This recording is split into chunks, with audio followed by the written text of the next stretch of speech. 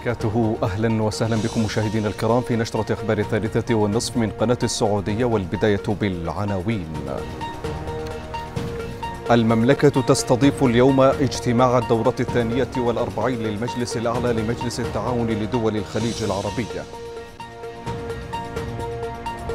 المركز الوطني للأرصاد يتوقع هطول أمطار من متوسطة إلى غزيرة على بعض مناطق المملكة. منظمة الصحة العالمية تؤكد أن المتحور أوميكرون يشكل خطرا عالميا والبيانات عن شدته ما زالت محدودة.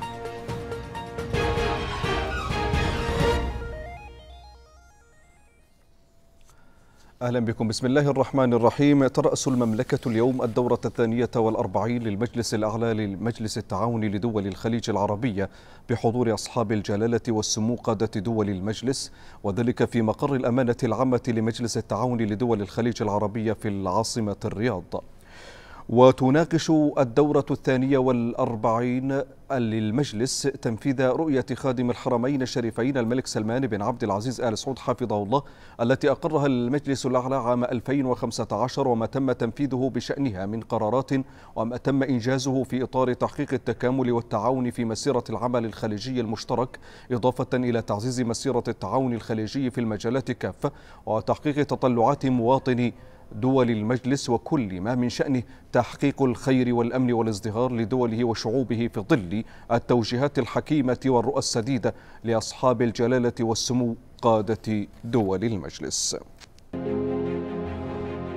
له أي من دول المجلس. سجلت المملكة مواقف تاريخية لدعم وحدة الصف الخليجي وتجنيبه للأزمات ملتزمة بواجبها من منطلق رابط الأخوة والدين والمصير المشترك.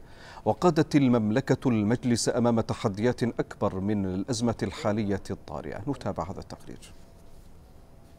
في نوفمبر من عام 1980 كانت الرياض أول من طرحت صيغة للوحدة الخليجية ودعت إلى قيام تعاون أمني بين دول ضفاف خليج العرب. وفي أغسطس من العام ذاته تقدمت خلال القمة الإسلامية بمدينة الطائف بمشروعها الذي يقضي بإنشاء تجمع خليجي والذي تحقق في الرابع من نوفمبر سنة 1981 وأتى تأسيسه كمنظمة إقليمية بمبادرة الرياض قبل ولادته رسميا في مايو من ذات العام بأبو ظبي في أول قمة لمجلس التعاون لدول الخليج العربي. المملكة لم تكتفي بالتأسيس بل لعبت دورا مهما في دعم وتقوية المجلس في أحلك الظروف وأصعبها بصفتها ضامنة الاستقرار. وما حرب الخليج الأولى الحرب الإيرانية العراقية وكذلك العدوان العراقي على الكويت في حرب الخليج الثانية إلا أكبر شاهدين على ذلك. وهي أيضا أول من طالب بتأسيس قوة عسكرية خليجية مشتركة وكانت ترجمة ذلك تشكيل قوة درع الجزيرة والتي تمركزت في مدينة الملك خالد العسكرية بالمملكة وساهمت في عمليات تحرير الكويت الدرع الذي قام عام 2011 وبطلب من البحرين بدور الأسد في وأد فوضى قامت بها جماعات حاولت زعزعة أمن المنامة بدعم خارجي. الرياض أيضا على صعيد التسليح ساهمت في إنشاء هيئة التسليح الخليجية واعتبار الهيئة السعودية نواة لهذه الهيئة الإقليمية. وعلى الصعيد الاقتصادي كانت المملكة من أوائل من نادى بالسوق الخليجية المشتركة وتوحيد التعرفة الجمركية بين دول المجلس ولا يغفل التاريخ دورها البارز في انبثاق منظمة المعايير الخليجية في نوفمبر 1982 عندما تحولت المنظمة السعودية للمعايير والقياسات إلى مؤسسة إقليمية تخدم كافة الدول الأعضاء في مجلس التعاون الخليجي. وعند كل أزمة تتجه الأنظار إلى الرياض والتطلع أن تكون نقطة انطلاق وصفحة جديدة تكتب في تاريخ أبناء الجزيرة العربية بما يخدم أمنها ويدعم استقرارها ووحدة صفها.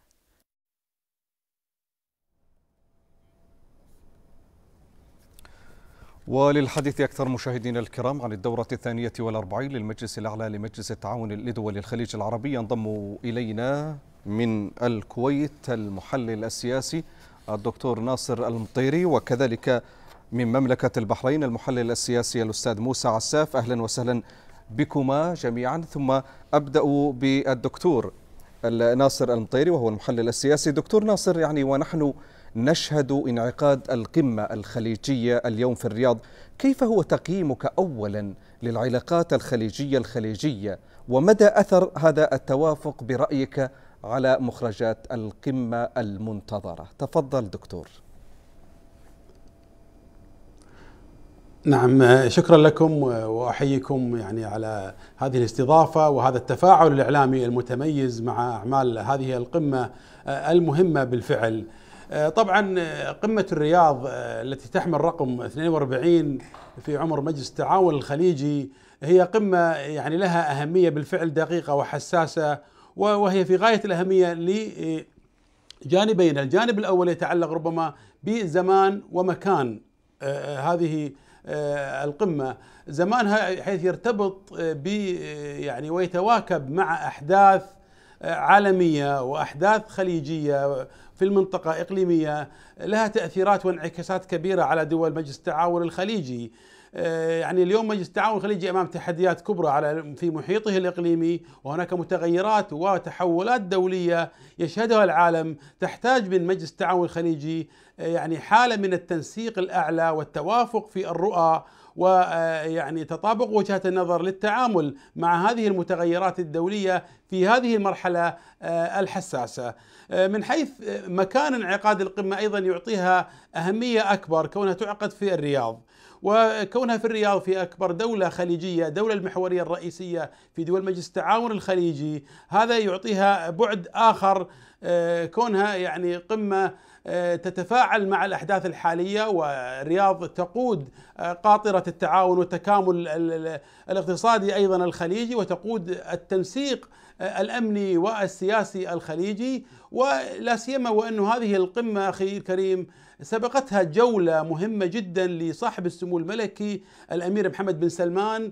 ولي العهد السعودي نائب رئيس مجلس الوزراء ووزير الدفاع إلى دول مجلس التعاون الخليجي، زار العواصم الخليجية، التقى مع أشقائه القادة في دول مجلس التعاون الخليجي لمزيد من التنسيق ولتهيئة أرضية مهمة لتحقيق إنجاز والخروج بمقررات مهمة تتواكب مع المرحلة الحالية وتكون يعني تساهم في إنجاح قمة الرياض. نعتقد أن قمة الرياض لن تكون يعني قمة بروتوكولية عادية كما اعتدنا على القمم السابقة بل ستكون قمة استثنائية. نعم. تخرج ب يعني قرارات وهذا هو المطلوب حقيقة.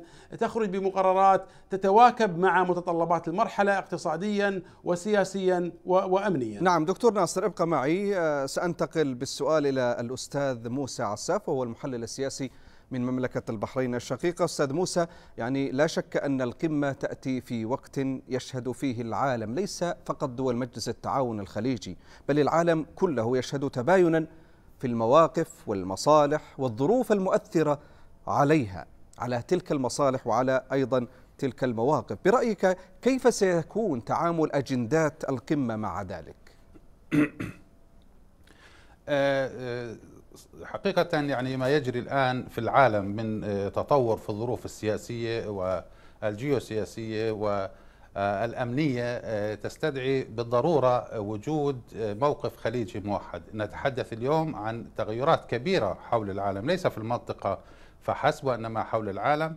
أولا الإدارة الأمريكية الديمقراطية الجديدة وطريقة تعاملها مع الملفات العربية والخليجية على وجه التحديد.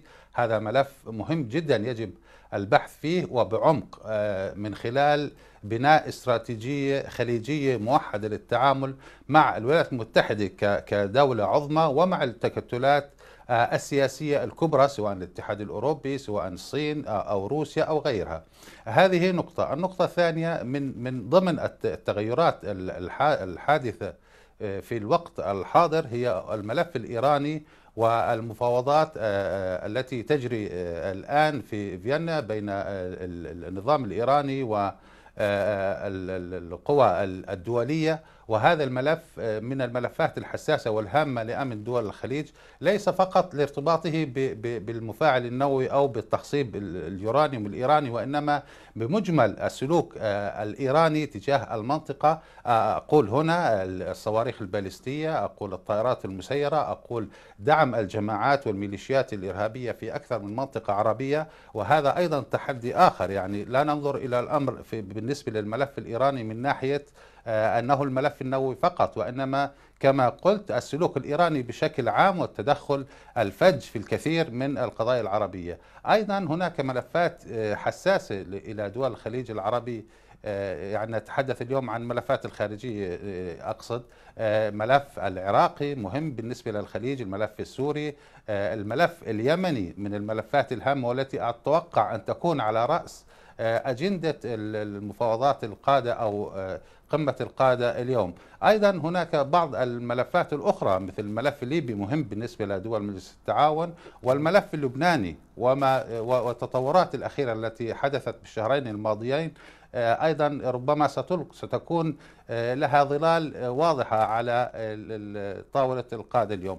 بشكل عام دول الخليج اليوم محتاجة إلى أكثر من أي وقت مضى إلى وحدة الكلمة وحدة الصف وحدة الرؤى تجاه مختلف أو مجمل القضايا التي تمر بها إضافة طبعا إلى آه، يعني آه، آه، قدرة المجلس على تخطي كل ال- التحديات. يعني نعرف أن المجلس منذ إنشائه عام 1981 مر بالكثير من التحديات والكثير من الصعاب وكانت دول المجلس قادرة على تخطي هذه التحديات من خلال الرجوع إلى القواعد والتي أسميها بشكل عام يعني القواعد الرئيسية لبناء عمل المجلس القائمة على وحدة الموقف وحدة الصف وحدة الهدف وحدة الرؤى ووحدة الأمن والاستقرار. وهي ملفات طبعا جعلت من المجلس أو أو أو آه، مساهمات جعلت من المجلس ك- كنقطة مضيئة سواء في المنطقة أو في العالم. يعني هو من من من أعرق المنظمات في المنطقة والتي لا تزال قائمة وفاعلة إلى يومنا هذا مما يعني أن هناك آه، قدرة من قادة المجلس على تخطي كل التحديات وكما يقال يعني بناء الفرص من هذه التحديات آه، للولوج إلى مستقبل أكثر إشراقا وأكثر يعني نعم. آه، يعني أهمية بالنسبة نعم. لشعوب المنطقة نعم أستاذ موسى دعني أعود إلى ضيفي من دولة الكويت الشقيقة الدكتور ناصر دكتور ناصر يعني الدول الخليجية كغيرها لا شك من دول العالم التي تضررت بجائحة كورونا وما خلفته من آثار أثرت ليس على الجانب الاقتصادي فحسب يعني آه، بل حتى في الجانب السياسي كذلك الاجتماعي أيضا الصحي آه، كيف ستكون مدارسة القادة برأيك لهذا الملف والتعامل معه؟ طبعا بلا شك يعني آه، جائحة كورونا كانت ضمن التحديات التي واجهت دول مجلس التعاون الخليجي كما واجهت العالم وكان هناك يعني مستوى عالي من التنسيق أعتقد في المجال الصحي آه، بين دول مجلس التعاون الخليجي في مسألة التنسيق ومواجهة ومجابهة آه، هذه الجائحة ال- ال- ال- الكبيرة العالمية وهي بلا شك لها تأثيرات أيضا في جوانب اقتصادية كبيرة. واليوم دول مجلس التعاون الخليجي لا شك تواجه تحدي اقتصادي فيما يتعلق ب آه، يعني ما لديها من خطط تنموية ومن ورؤى ومشاريع آه، آه، يعني شراكات اقتصادية كبيرة تحتاج إلى يعني تعويض ما فات وما لحق من خسائر جراء جائحة كورونا، لذلك اليوم اعتمادنا على ال- ال- ال- القطاع النفطي وقطاع الطاقة مسألة مهمة ودول مجلس التعاون الخليجي لا يخفى عليكم أنها تواجه تحدي وضغوط دولية كبيرة على أسواق النفط من قبل دول كبرى. من أجل محاولة تخفيض أسعار النفط في ظل في مرحلة دول مجلس التعاون الخليجي آه، بحاجة كبيرة إلى رفع إيراداتها النفطية وأسعار النفط من أجل توفير الاستحقاقات الاقتصادية والخطط التنموية. آه، يعني بعد جائحة يعني آه، أثرت تأثير كبير اقتصادي على دول العالم ومنها دول مجلس التعاون الخليجي، لذلك يعني نعتقد بأنه قمة الرياض ستكون لها كلمة ورسالة للعالم بانه هناك موقف خليجي موحد ينطلق من منظمة أوبك آه، يعني للحفاظ على استقرار أسعار البترول آه، العالمية. وهي مسألة في غاية الأهمية وت يعني يعتبر مسألة مصيرية لاقتصاديات دول المنطقة. هذه أحد المسائل المهمة أيضا التي يمكن أن تكون عبارة عن رسالة خليجية تنطلق إلى العالم وتوجه. وبالفعل أعتقد بأنه يعني اتحاد الكلمة الخليجية ومن خلال منظمة أوبك وأوبك بلس استطاعت أن يعني تحافظ على استقرار النفط وأن ربما تواجه وتحد من التحدي والضغط الدولي الذي مورس خلال الفترة الماضية على دول أوبك في هذا المجال ودول مجلس التعاون الخليجي باعتبارها دول نفطية كبيرة ولها تأثير كبير في الاقتصاد العالمي. أعتقد يعني يعني كل الأمور هذه والقضايا أيضا إلى جانب القضايا السياسية المهمة المطروحة اليوم تحديات أمنية لها تأثير كبير على استقرار دول المنطقة. لا يمكن أن تبني اقتصاديات سليمة ويعني ناجحة دون أن توفر حالة من الاستقرار الأمني وبيئة اقتصادية حاضنة لمشاريع تنموية كبرى اليوم في تحملها الرؤى الخليجية المشتركة في مجلس التعاون الخليجي، لا يمكن أن يعني توفر هذه الاقتصاديات دون أن توفر الغطاء الأمني والبيئة الأمنية المستقرة، لذلك اليوم دول مجلس التعاون الخليجي بحاجة إلى تنسيق أمني على أعلى مستويات يواجه التحديات الأمنية المتعلقة بالمخاطر جراء تداعيات الملف النووي الإيراني، حالة عدم الاستقرار في العراق، المخاطر الموجودة أيضا في جراء الأحداث والحرب في اليمن، كثير من التحديات الأخرى، لذلك أيضا هناك تحولات كبرى عالمية، تغير في التحالفات، تغير تحول في التوجهات الدولية يعني اليوم قد يكون صديق اليوم عدو الغد. اليوم نشهد صعود قوى جديدة في العالم مثل الصين. هناك تحديات كبرى بين روسيا والولايات المتحدة الأمريكية وأزمات كبيرة. هناك ربما تغير في توجهات بعض الحلفاء. لدول المنطقة. هذا الأمر يتطلب أن يكون هناك تنسيق خليجي كبير يواجه هذه المتغيرات يحافظ أولا وبداية على الجبهة الخليجية الموحدة لتكون قوة مؤثرة في محيطها الإقليمي وتعقد تحالفاتها بتوازن وبحكمة سياسية يعني للحفاظ على أمن واستقرار هذه المنطقة أيضا لبناء اقتصاديات نعم. سليمة لبناء تنمية حقيقية تعود بالرفاه على جميع شعوب دول مجلس التعاون الخليجي. جيد جيد أنتقل بالسؤال إلى الأستاذ موسى عساف وهو كما قلنا وأسلفنا المحلل السياسي من مملكة البحرين، أستاذ موسى يعني لو عدنا إلى إلى التركيز على أبرز الملفات التي من المتوقع أن يتناولها القادة وهي الملف اليمني والتعديات والاعتداءات الحوثية على البنيان وعلى الإنسان، كيف تقرؤون آه هذا التناول؟ كيف سيكون هذا التناول؟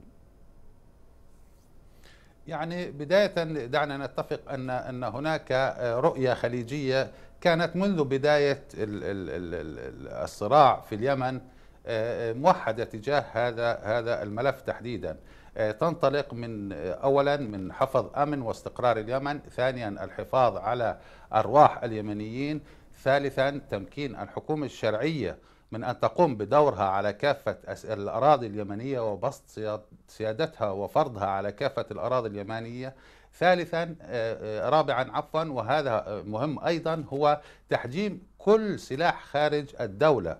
واقصد هنا ميليشيا الحوثي الإرهابية المدعومة ايرانيا والتي نعرف أنها كانت يعني السبب المباشر لتفجر هذا الصراع في اليمن وإطالة أمده والذي أدى إلى اليوم إلى فقدان الآلاف من الأرواح وتشريد مئات الآلاف وربما الملايين من المواطنين اليمنيين. الدول مجلس التعاون كانت منذ البداية كانت واضحة في هذا الملف وكان هناك إجماع خليجي يعني تام عليه من حيث أهمية عودة الحكومة الشرعية وبسط سيطرتها على الأراضي اليمنية. طبعا الملف اليمني له تشعبات كثيرة. أولها أولا التدخل الإيراني والدعم الإيراني المباشر لميليشيا الحوثي الإرهابية سواء من ناحية توفير الأسلحة توفير التدريب عن طريق ميليشيات حزب الله اللبنانية أيضا.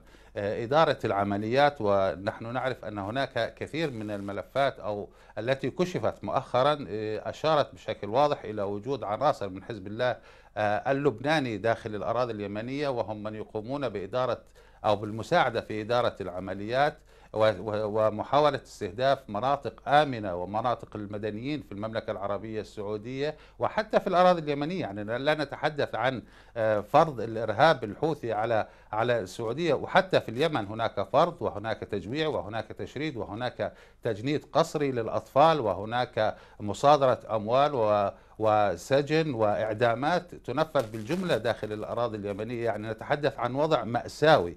دول الخليج كما قلت كانت يعني حرصها على أمن اليمن سعت منذ البداية لاستقرار اليمن. و وإعادة السلطة الشرعية فيه. أيضا المملكة العربية السعودية تقدمت بمبادره كبيرة أيضا في في لإعادة الأمن إلى اليمن وأيضا تم إصدار قرار من مجلس الأمن وهو قرار 2216 الذي أكد على ضرورة حفظ الأمن في اليمن وانسحاب الميليشيات وإعادة الحكومة الشرعية والذي أيدته دول مجلس التعاون كان هناك طبعا كما نعرف منذ بداية نعم. الحرب في اليمن كان هناك الجيوش الخليجية التحمت مع الجيش السعودي في الحد الجنوبي ووقفت نعم. جنبا إلى جنب واختلطت معه. وبالتالي فإن الموقف الخليجي أتوقع باليمن يعني لا تشوبه شائبة. يعني واضح أحسنت. واضح كثيرا وهناك أحسنت. أحسنت. اتفاق تام عليه. أحسنت. أستاذ موسى عساف أنا أشكرك شكرا جزيلا. كنت معي في هذه النشرة. أيضا الشكر موصول للدكتور ناصر المطيري وهو المحلل السياسي. كنت معنا من دولة الكويت. شكرا جزيلا لكما أن كنتما معي في هذه النشرة. شكرا لكما. وأيضا لمواصلة الحديث عن الدورة الثانية والأربعين لمجلس الأعلى لمجلس دول الخليج العربية ينضم إلينا عبر الاتصال الهاتفي الكاتب والمحلل السياسي الأستاذ سعد الحامد. أستاذ سعد أهلا وسهلا بك ابتداء ثم لا شك أستاذ سعد دعني أسألك عن جولة سمو سيدي ولي العهد التي سبقت انعقاد هذه القمة. كيف سيكون أثرها جليا في أجندات القمة وكذلك مخرجاتها برأيك؟ مساء الخير وسعيد بالاستضافة في هذا اليوم الجميل باجتماع القادة الخليجيين في هذا العرس الخليجي. حقيقة أن جولة سمو ولي العهد الأمير محمد أسست لي وجود انطلاقة من في هذه القمة.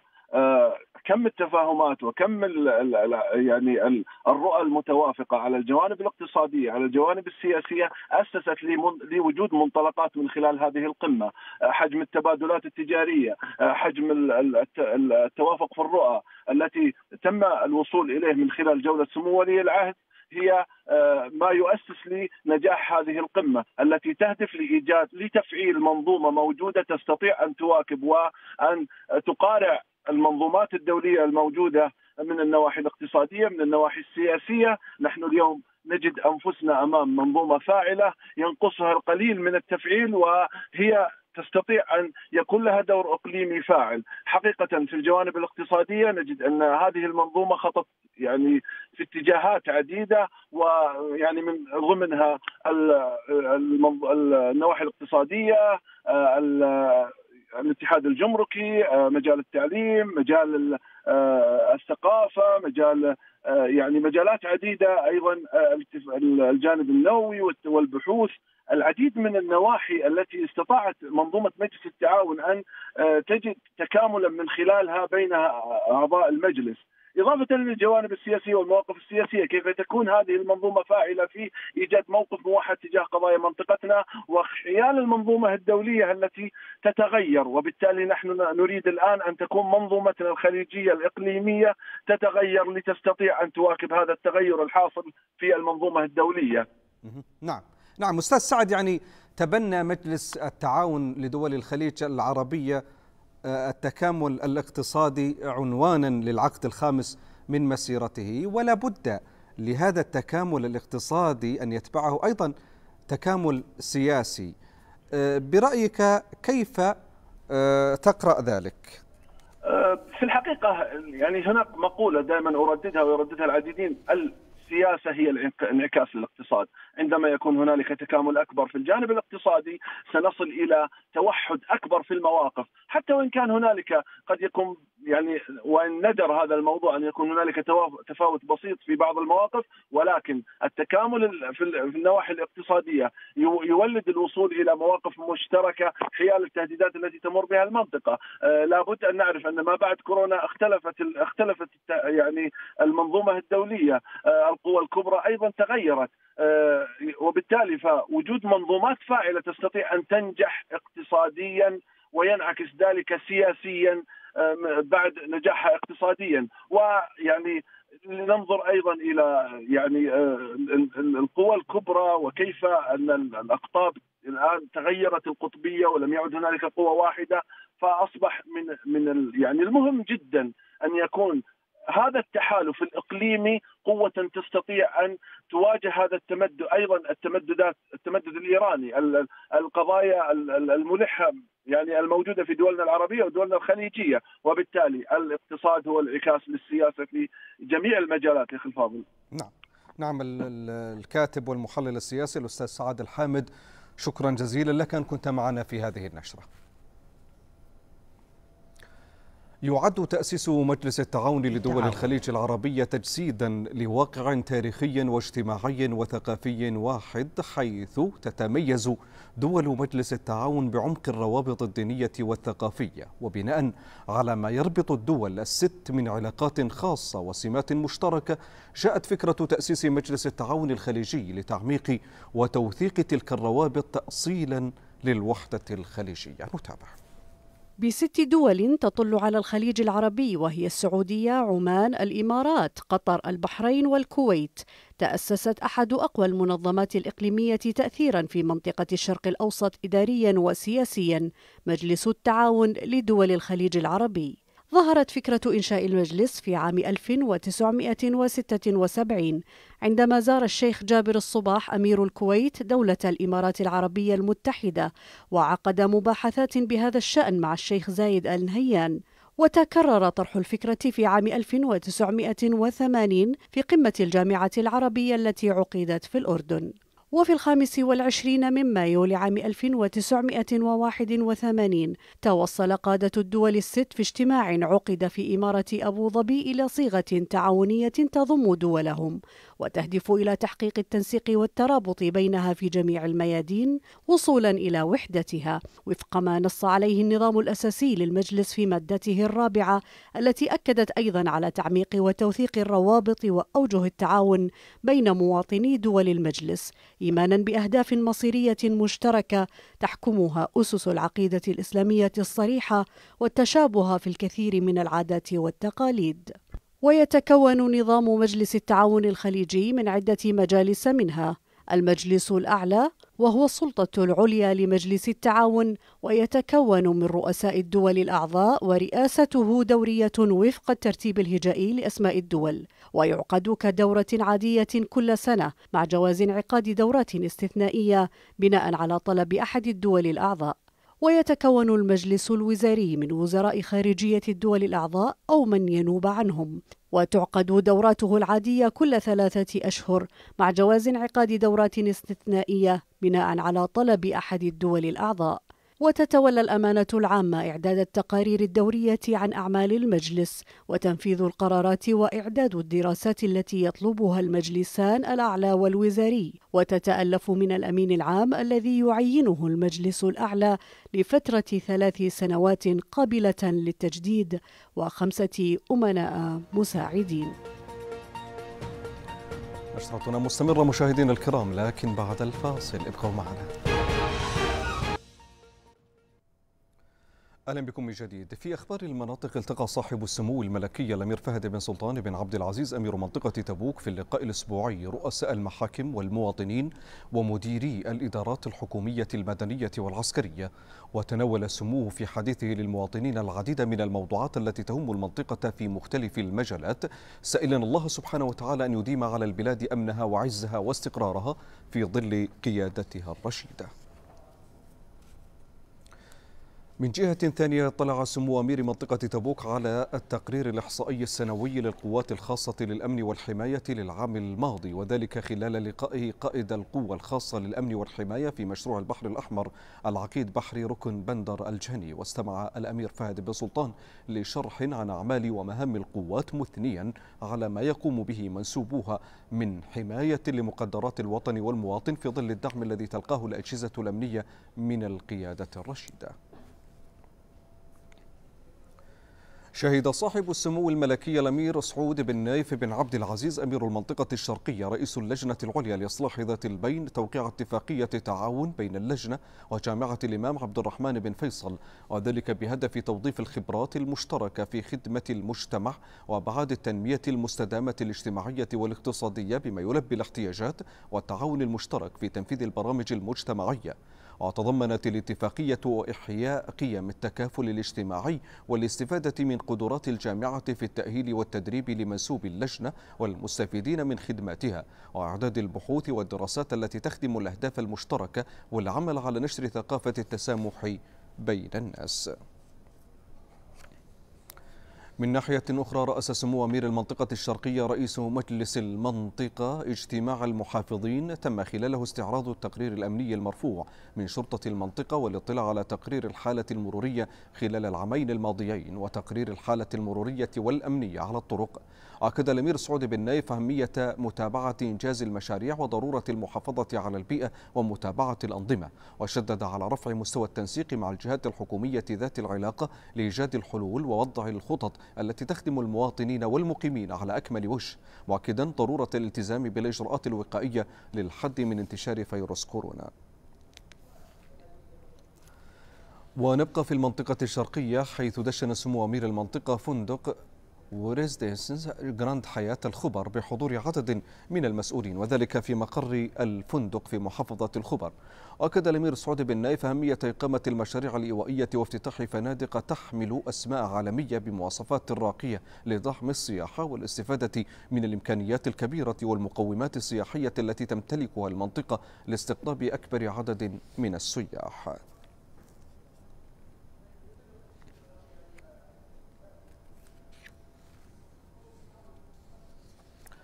التقى صاحب السمو والأمير جلوي بن عبد العزيز بن مساعد أمير منطقة نجران رؤساء المحاكم والقادة العسكريين والمسؤولين المدنيين في المنطقة وحثهم سموه على تكثيف الجهود لخدمة الأهالي بما يلبي تطلعات القيادة الرشيدة.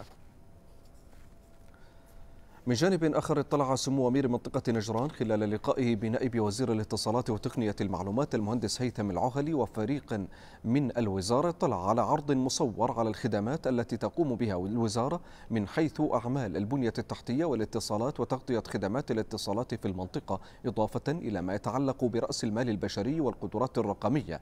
أكد الأمير جلوي بن عبد العزيز أن تقديم البرامج التقنية أصبح من الضروريات التي لا غنى عنها خصوصا في المواقع السياحية والتراثية والأثرية التي تعد من أهم مواقع الجذب السياحي.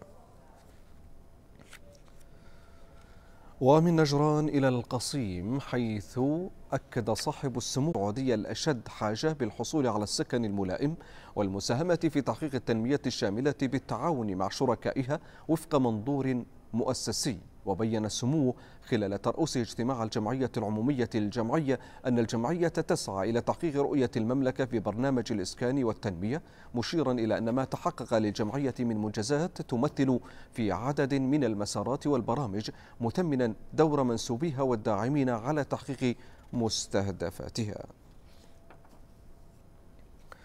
من جانب آخر أكد سمو أمير منطقة القصيم على أهمية المهرجانات الزراعية الموسمية التي تسهم في تسويق المحاصيل الزراعية وزيادة مداخيل المزارعين. الأمر الذي ينعكس على جودة منتجاتهم مشيرا إلى أن المهرجانات توفر الفرص الوظيفية المؤقتة للشباب والفتيات. وتسلم الأمير الدكتور فيصل بن مشعل خلال لقائه بمحافظ عيون الجوى محمد العساف واللجنة المنظمة للمهرجان المهرجان العنب في القصيم التقرير الختامي للمهرجان العام المنصرم مستمعا لشرح عن الجهود المبذولة من قبل المنظمين ومزارعي العنب. ونبقى في منطقة القصيم حيث كرم سمو أمير منطقة القصيم المشاركين في اليوم الوطني الحادي والتسعين من منسوب أمانة المنطقة لشهودهم في إنجاح الفعاليات. وأشاد الأمير الدكتور فيصل بن مشعل خلال لقائه بأمين المنطقة المهندس محمد المجلي وفريق العمل المشارك في اليوم الوطني أشاد بجهود المشاركين في الفعاليات مثمنا جهود الأمانة والبلديات التي بذلت للاحتفاء بهذه المناسبة. وتسلم سموه التقرير النهائي للفعاليات والتقرير النهائي لجهود الأمانة وسلم المشاركين شهادات الشكر لقاء تلك الجهود التي أدوها بهذه المناسبة.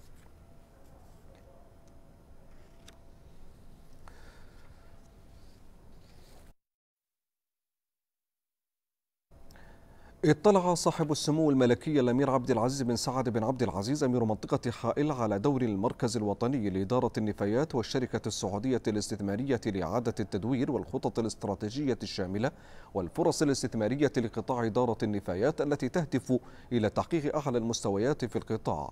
وتناول السمو خلال لقائه بالرئيس التنفيذي للمركز الوطني لإدارة النفايات الدكتور عبد الله السباعي والرئيس التنفيذي للشركة السعودية لإعادة التدوير المهندس زياد الشيحة ممكنات المركز وإسهامه في الارتقاء بجودة الخدمات المقدمة بناء على مبدأ الاقتصاد الدائري لتحقيق أهداف التنمية المستدامة وتحسين جودة الحياة وتحفيز الاستثمار في القطاع بما يكفل حماية البيئة وتعزيز الصحة العامة. اليوم حقيقة أعتقد أنه موضوع هام جدا بل بالغ من الأهمية ألا وهو محاور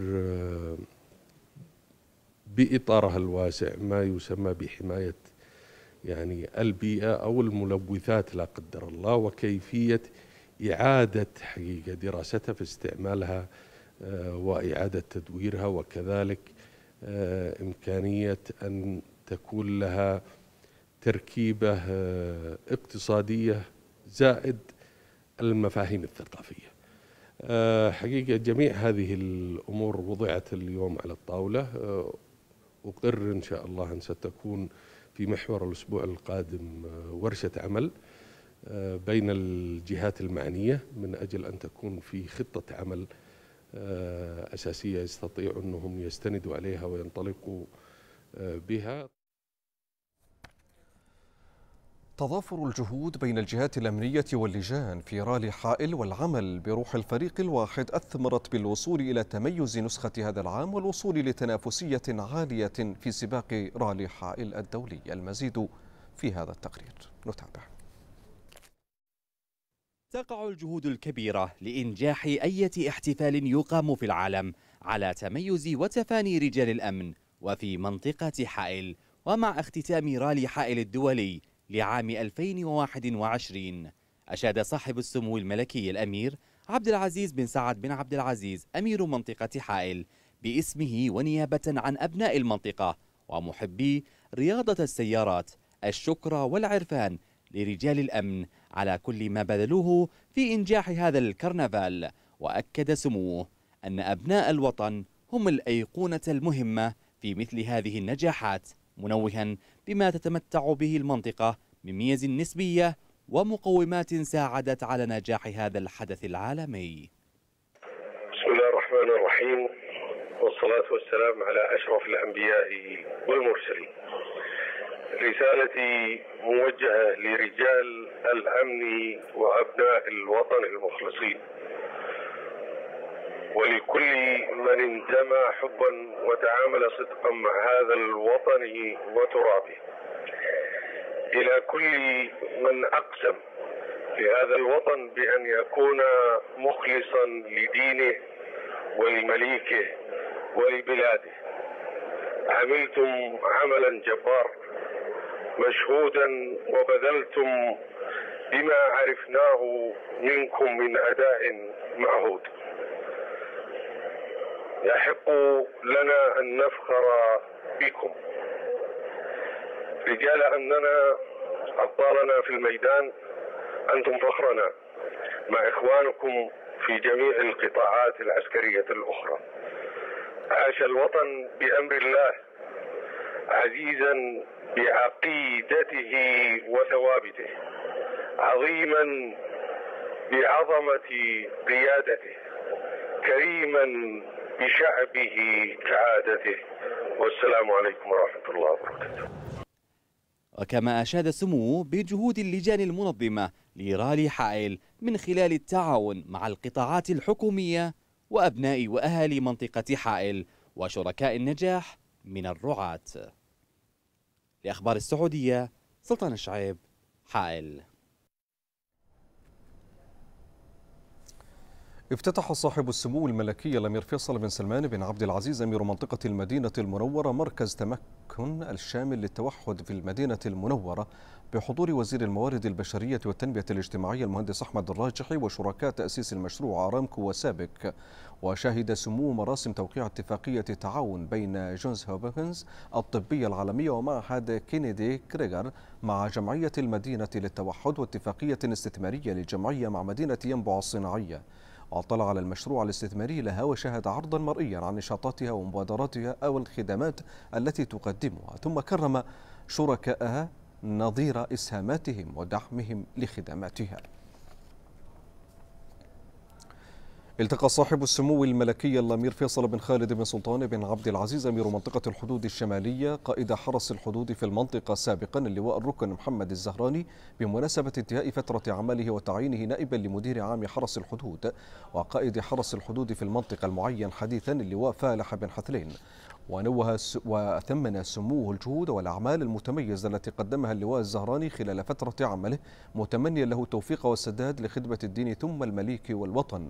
كما هنأ اللواء بن حثلين بمنصبه الجديد راجيا له التوفيق منوها بما يقوم به حرس الحدود من حماية لمقدرات الوطن والمواطن في ظل الدعم غير المحدود الذي تلقاه الأجهزة الأمنية من القيادة الرشيدة.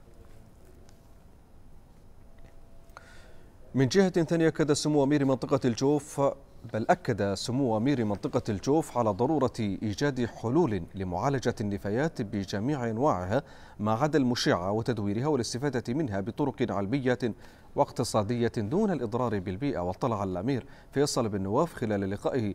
الرئيس التنفيذي للمركز الوطني لإدارة النفايات الدكتور عبد الله السباعي والرئيس التنفيذي للعمليات بالشركة السعودية الاستثمارية لإعادة التدوير المهندس خالد الراشد.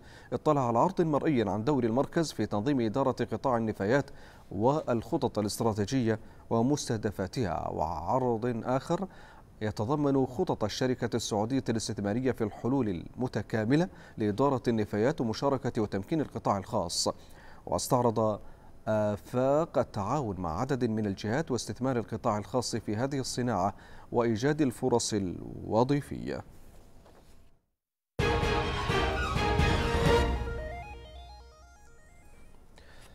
التقى رئيس مجلس الشورى الشيخ الدكتور عبد الله الشيخ اليوم بسفير جمهورية سريلانكا المعين حديثا لدى المملكة باكير محي الدين أمازا وقد أكد معاليه حرص المجلس واهتمامه بتنمية العمل والتنسيق الثنائي المشترك على مستوى العلاقات البرلمانية بين المجلس والبرلمان السريلانكي بما يفتح آفاقا أرحب للتعاون البناء لما فيه مصلحة البلدين والشعبين الصديقين.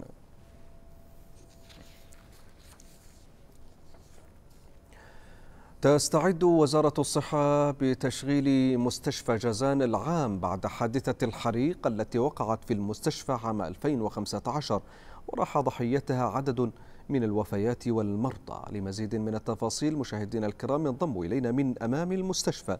مراسل أخبار السعودية الزميل زاهر المالكي. زاهر أهلا وسهلا بك ابتداء ثم هل وضعتنا في صورة هذه الاستعدادات لإعادة تشغيل هذا المستشفى؟ ثم كيف سيكون الأثر على المواطن مواطن المنطقة وكذلك على مقيمها وأيضا الزائرين لها؟ تفضل. أهلا وسهلا تحية طيبة لك ولمشاهدي أخبار السعودية في كل مكان. بالتأكيد أنا أتواجد الآن من أمام مستشفى جازان العام. هذا المستشفى الذي اندلع به حريق في عام 2015 راح ضحيته 25 مريضا كانوا بداخله. بعد ذلك خرج هذا المستشفى عن العمل عملت وزارة الصحة طيلة الفترة الماضية على إعادة تأهيله حتى أصبح بالشكل الذي تشاهده من خلفي. هذا المبنى الذي فاق قيمة إعادة تأهيله المئة مليون ريال. زادت الصحة ممثلة في صحة جازان مساحة هذا المستشفى 40% بعد تأهيله. أيضا زادت السعة السريرية في المستشفى من 100 سرير إلى 200 سرير. يوجد في المستشفى حقيقة أو تم تجهيز المستشفى وتأهيله بأحدث التجهيزات الطبية وأيضا بأحدث التجهيزات للطوارئ وأيضا للأمن والسلامة. آه هذه أقامت الصحة وزارة الصحة عبر الجهات المعنية باختبار أو بإجراء عدد من الفرضيات داخل المستشفى قبل تشغيله للتأكد من آه أجهزة الأمن والسلامة وأيضا من جاهزية المستشفى قبل استقباله آه استقبال المرضى. غدا بإذن الله تعالى سيتم تدشين هذا المستشفى بحضور سمو أمير منطقة جازان وسمو نائب وسمو نائبه وأيضا معالي وزير الصحة الذي سيصل إلى منطقة جازان تدشين هذا المستشفى وإعادة الخدمة إليه. آه هذا المستشفى إجابة على سؤالك زميلي عن الأثر آه عن الأثر في آه تدشين هذا المستشفى على المواطنين. بالتأكيد أنه سيقدم خيارا جديدا للمواطنين هنا. أيضا سيقلل من الفاتورة العالية للرعاية الصحية في القطاع الخاص في المنطقة. نعم الزميل زاهر المالكي وأنت مراسل أخبار السعودية. كنت معنا من جازان. شكرا جزيلا لك زميلي زاهر على هذا الإطلاع وهذه الإفادة حول مستشفى جازان العام والذي نرجو من الله سبحانه وتعالى أن ينفع به والا يحوج إليه احدا إلا بخير. شكرا لك.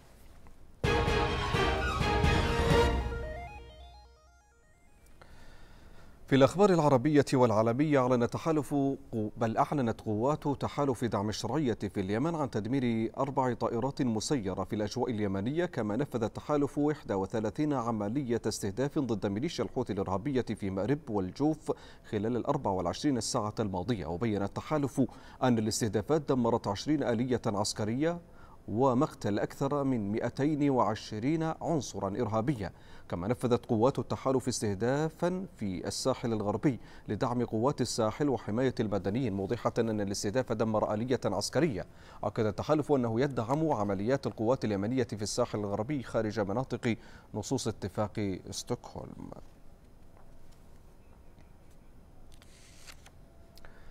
دانت دولة الكويت بأشد العبارات استمرار محاولات ميليشيا الحوثي تهديد أمن المملكة عبر محاولة استهداف مدينة خميس مشيط بصاروخ باليستي. وأوضحت وزارة الخارجية الكويتية أن استمرار هذه الممارسات العدوانية وما تشهده من تصعيد يستهدف المدنيين والمناطق المدنية وأمن المملكة واستقرار المنطقة يشكل انتهاكا صارخا لقواعد القانون الدولي والإنساني ويتطلب تحرك المجتمع الدولي السريع والحاسم لردع هذه التهديدات ومحاسبة مرتكبيها كما عربت مملكة البحرين عن إدانتها واستنكارها بشدة لإطلاق ميليشيا الحوثي الإرهابية صاروخا باليستيا. تجاه الأعيان المدنية في خميس مشيط عادة ذلك انتهاكا صارخا للقانون الدولي الإنساني. وشددت وزارة الخارجية لمملكة البحرين بكفاءة ويقظة الدفاعات الجوية السعودية في التصدي للصاروخ الباليستي وتدميره.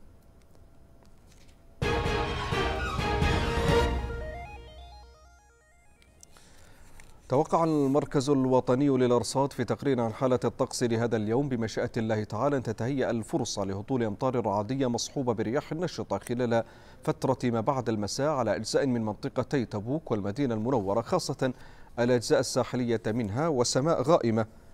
وسماء غائمة جزئيا إلى غائمة على معظم مناطق المملكة في حين يستمر تأثير الرياح النشطة المثيرة للأتربة والغبار التي تحد من مدى الرؤية الأفقية على أجزاء من منطقتي مكة المكرمة والمدينة المنورة. يمتد تأثيرها إلى مناطق حائل والجوف والحدود الشمالية والأجزاء الغربية من منطقة الرياض كما لا يستبعد تكون الضباب خلال ساعات الصباح الباكر على أجزاء من المنطقة الشرقية.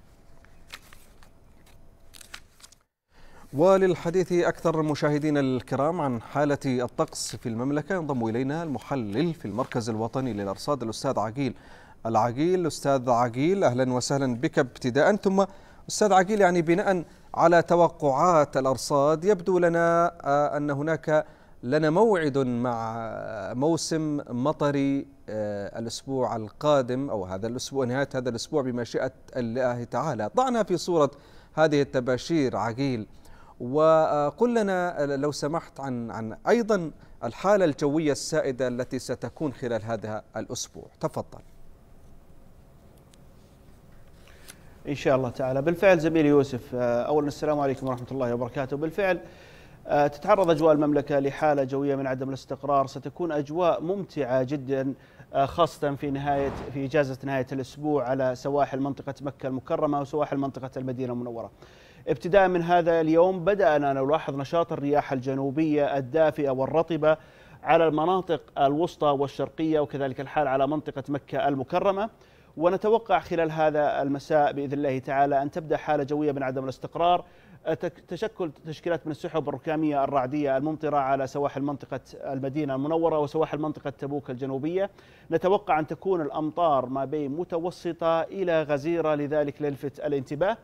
وفي وقت متأخر إن شاء الله وصباح يوم الأربعاء غدا بإذن الله تعالى تتكون السحب الركامية الرعدية لتؤثر بشكل واضح وملحوظ على محافظة رابغ وكل ما اتجهنا إلى الجنوب حتى محافظة جدة. نتوقع كذلك الحال أمطار متوسطة إلى غزيرة مع حبات البرد.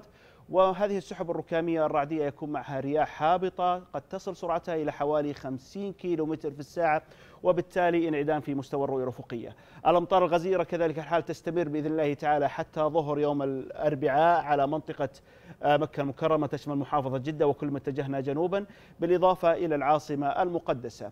ويوم الجمعة كذلك الحال متوقع أن تتأثر هذه المناطق بالإضافة إلى منطقة حائل ومنطقة القصيم. يوم السبت متوقع هطول أمطار قد يكون متوسط في مجمله على هذه المناطق من المملكة. بالإضافة إلى يوم السبت حتى المناطق الشمالية الشرقية من المملكة متوقع عليها أمطار متوسطة إلى غزيرة. هذا والله تعالى أعلم. نعم الأستاذ عقيل العقيل وأنت المحلل في المركز الوطني للأرصاد. شكرا جزيلا لك أن كنت معنا في هذه النشرة.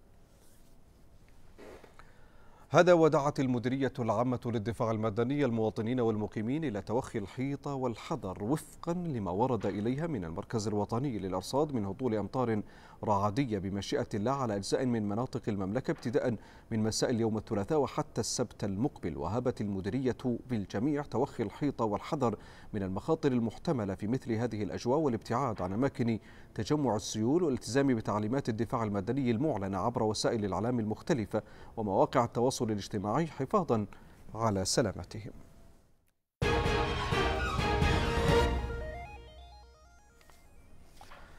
تجاوز إجمالي عدد الجرعات المعطاة من لقاح كورونا في المملكة أكثر من 48 مليون و129 ألف جرعة إذ بلغ عدد المحصنين بجرعتين من لقاح كورونا أكثر من 22 مليون و821 ألفا فيما بلغ عدد الذين حصلوا. على الجرعة الأولى أكثر من 24 مليون و797 ألف شخص من سكان المملكة. وفي آخر إحصائيات فيروس كورونا في المملكة سجلت 65 إصابة جديدة بالفيروس سجلت 82 حالة متعافية كما سجلت حالة وفاة واحدة جديدة رحمها الله تعالى.